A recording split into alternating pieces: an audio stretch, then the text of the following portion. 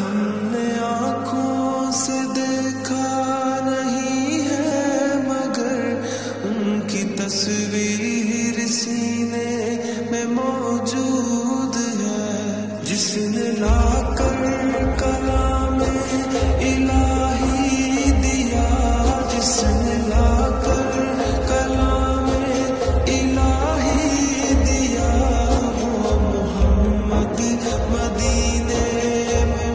do